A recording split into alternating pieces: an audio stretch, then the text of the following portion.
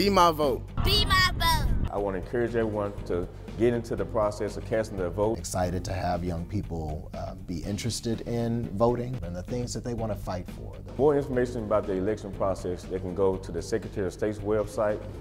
We should get them any information about the election process. JPS. JPS. Be my vote. Be my.